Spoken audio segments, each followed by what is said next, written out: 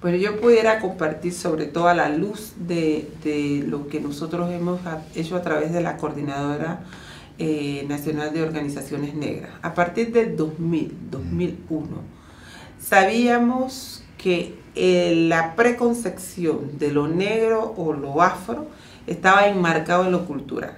Tú ves a todo el mundo, ah, los negros que bien cocinan, que bien bailan, eh, qué buenos son el deporte. Pero nos están clasificando casi en categoría de entretenimiento. Creo eh, que la conciencia de nuestros líderes ha evolucionado que está pasando igual a nivel continental. A nivel continental, la mayoría de nuestras organizaciones no son de carácter político. Y cuando hablamos político es político reivindicativo. Eh, si bien es cierto, se jugó un papel muy importante en el derecho cultural al ser, desde mi identidad, desde mi cultura, desde mis expresiones culturales, quedaban matizadas o arrinconadas en el tema de la expresión de danza, baile, canto, comida, no así del aporte intelectual inclusive de nuestros escritores, de nuestros poetas y sobre todo también de la participación política en la construcción de las Américas.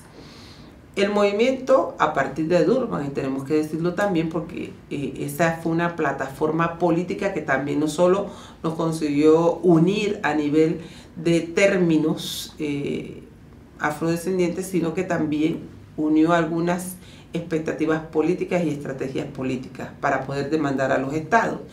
Y esa demanda política, bien plasmada en estos documentos, ha permitido que también hayamos evolucionado. A la medida en que nos hemos posesionado de, de Durban, en esa misma medida nuestro discurso ha cambiado.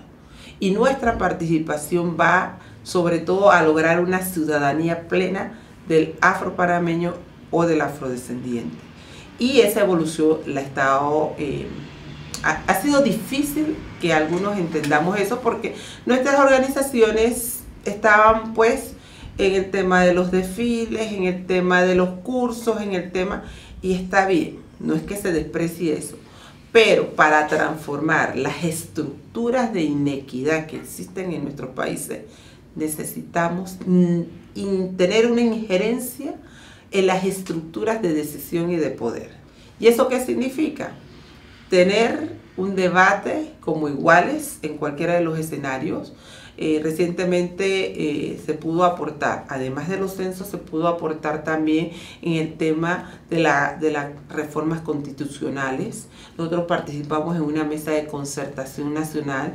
Nosotros participamos en el tema del pacto por la justicia como una manera de reivindicar a nivel nacional el tema de la justicia porque se cree que en nuestro país pues no hay igualdad eh, en el tratamiento del sistema judicial o sea, hemos ido aportando en esos aspectos porque tenemos que estar insertos para empezar a sensibilizar y por tanto transformar desde dentro, porque como decía un obispo, cuando estamos fuera de la mesa lo único que nos quedan son las obras. Y no podemos seguir con esa actitud mezquina para nosotros mismos y para nuestra gente que espera de nuestros líderes que hagan su trabajo. Entonces, esa evolución es la que estamos viviendo. Eso no quiere decir que algunas organizaciones se dediquen también a seguir promoviendo esto, pero nuestro interés, sobre todo la opción que ha hecho la coordinadora es precisamente de debatir sobre las necesidades políticas públicas para los afrodescendientes.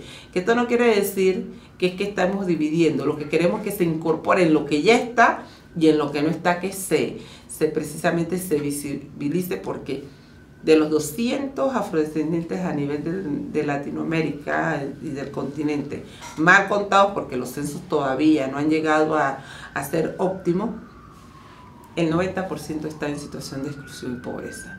Y nosotros señalamos a los estados.